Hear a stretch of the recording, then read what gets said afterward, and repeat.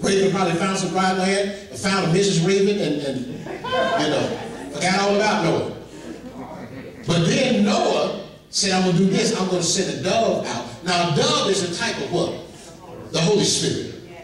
He said, I'm gonna send a dove out, and the dove went and found an olive branch in its mouth, came back to let Noah know that the water had receded, it's okay to get off the ark. But here's the thing about, why did God say in, in 1 King, I have commanded the ravens, unreliable, undependable, unclean, to feed you. Because I'm telling you, in these last days, when there is going to be a drought for the word of God, God is going to start using people that you never thought on, that man. God would use. Amen. He's going to use the former drug addicts, the prostitutes, the, the dope dealers, the, the, the no good, scum of the earth people would call him. God's going to start using them to bring a word to feed you. All right. All right. Guess what? He's already started with some of us. Yes. Come on. Listen.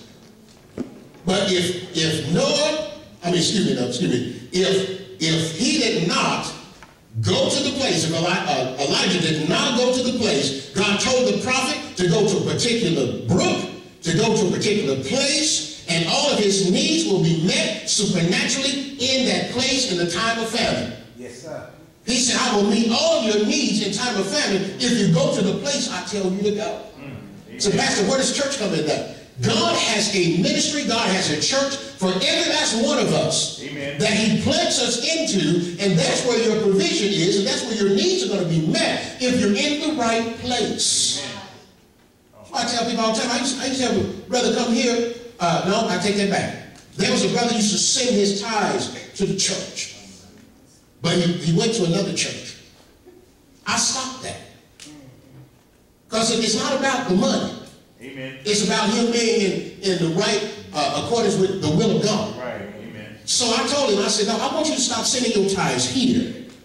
I want you to send them and plant them where you're being fed at the church that you go to. Amen. He said, well, I'm enjoying it over here. I said, well, because he was getting the CDs and getting the messages. He said, so I wanted to sow where I'm being fed. I said, no, that's not right. If you're physically over there, that's where you need to put your tithes.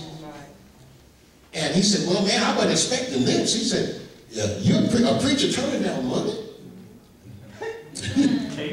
That's just like a preacher turning down fried chicken. You know? he said, a preacher turning down money?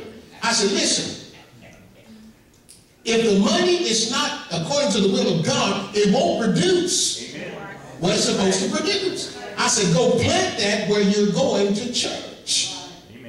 Eventually, he started coming here.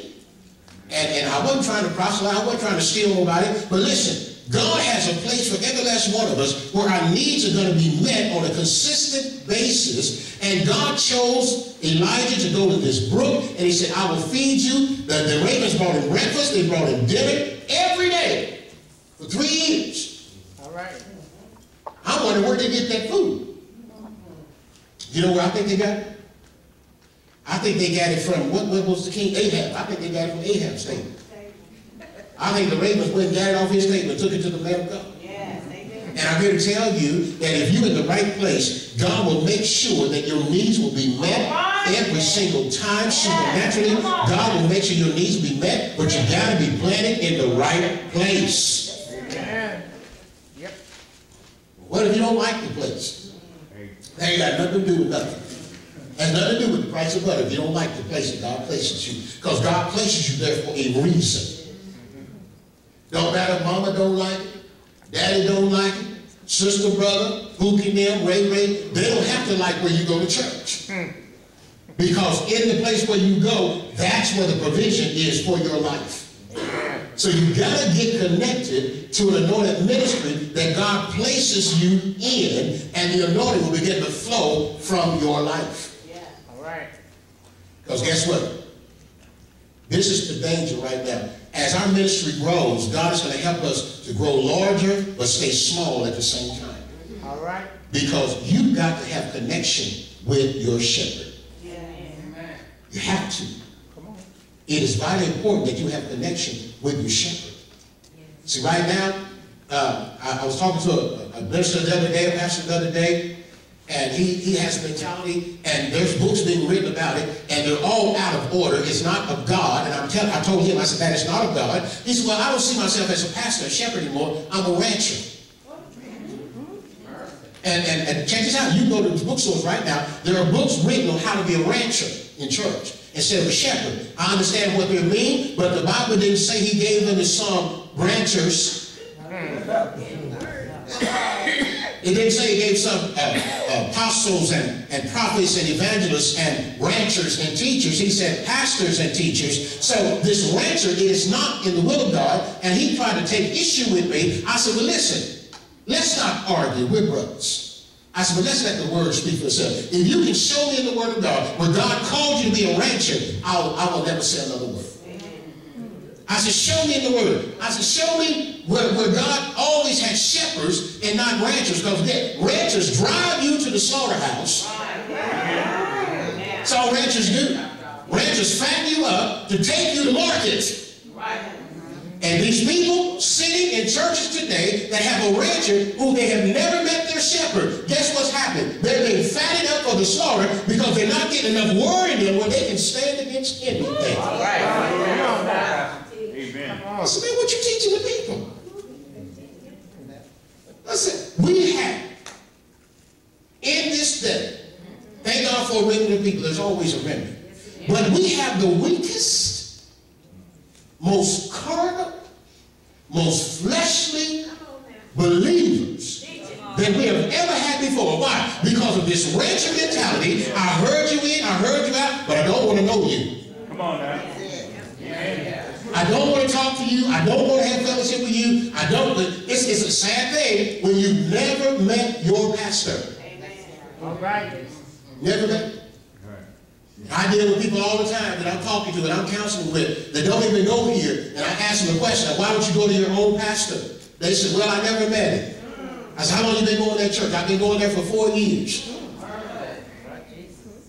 And I'm going, you don't have no shepherd, you got a rancher. Because a shepherd would look you straight in your eyes and say, you are deficient in something. You need this nutrient. Shepherd can look in your eyes and tell something is wrong. People don't want that nowadays. Because if you're going to have a shepherd, that means you have to have accountability. People don't want accountability. They're going to go to a place where I can sneak in, sneak out. Nobody even know I've been there. No, baby, that's not what God calls. God calls us to be under accountability yes. so that when the shepherd looks at you and say, baby, your walk is a little crooked. Let's straighten it up. Amen. People don't want that no more. They don't want that. Right. They want to be coming. in, I'm going to sit in the back, I'm going to hear a few songs, I'm going to hear a 15 minute message, and then I'm going to leave, and my lifestyle has not been affected whatsoever. People want that today, but I'm telling you, that is not where the anointing is. Amen. Amen. Thank you.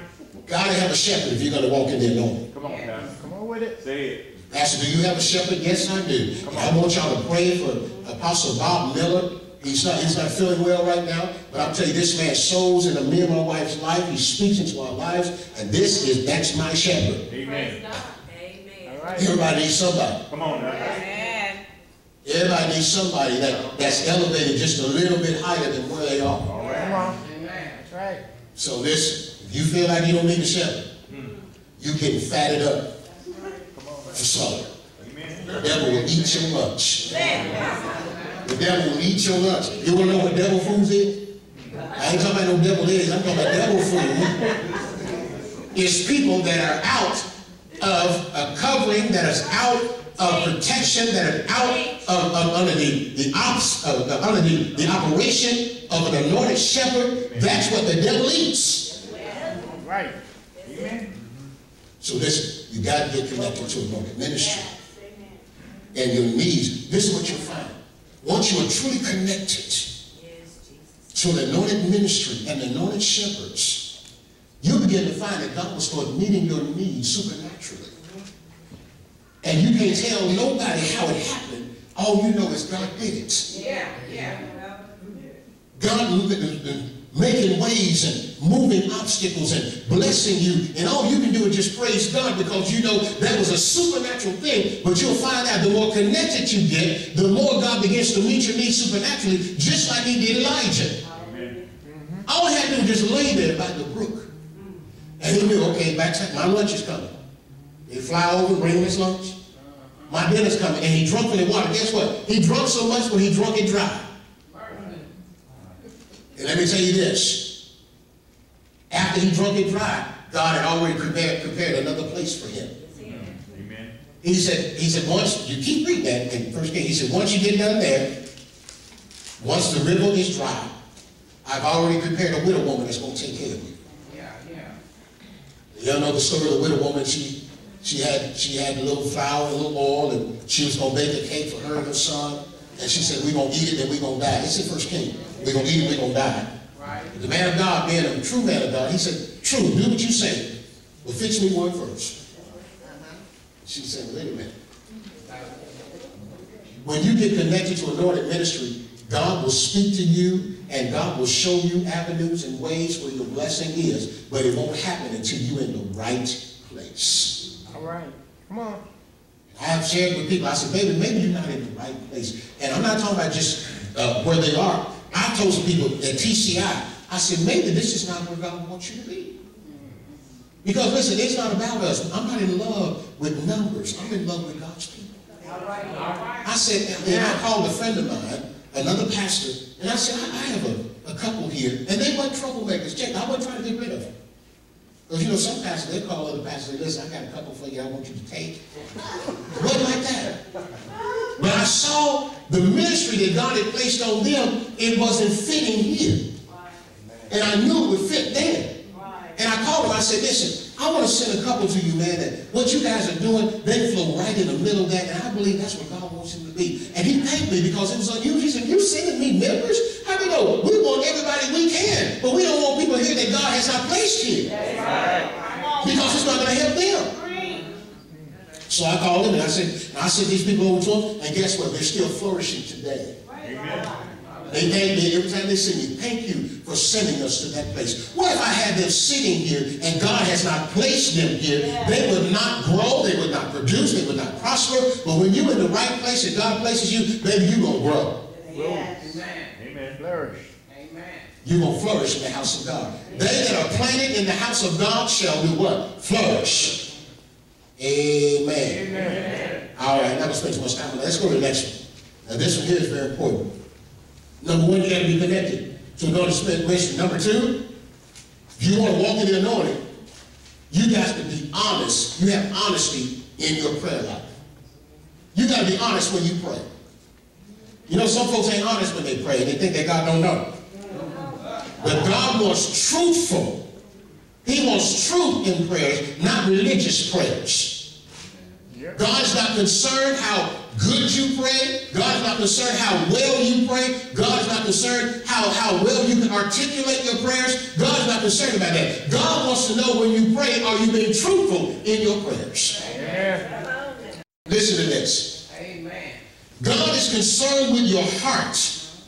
God wants to hear from the real you, the one that you live with, not the churchy you. Amen. Did y'all know there's a churchy you? Then there's a real you. Y'all want to get to know the real me. Don't ask me, ask the one that lives with me. Yeah, yeah. The real you is the real you. The church churchy you is the face that we put on when we come to church.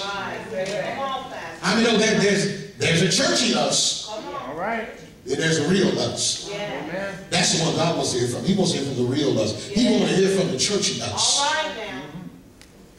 Listen, go to Psalm 145. Psalm 145, 18. Because there's a real us and there's a churchy us. and you God, that, God wants us to be honest in our prayer life. Psalm 145, verse, verse 18 says, The Lord is near to all who call on him, to all who call on him in what? Truth.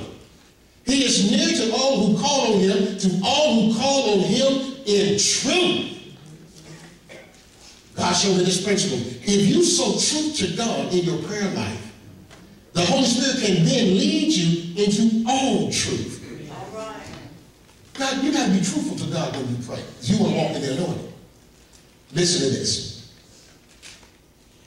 God wants to hear the real truth. Don't you know there's a difference between the good-looking truth and the ugly, messy truth? I think there's a show I watch on CNN sometimes called The Messy Truth.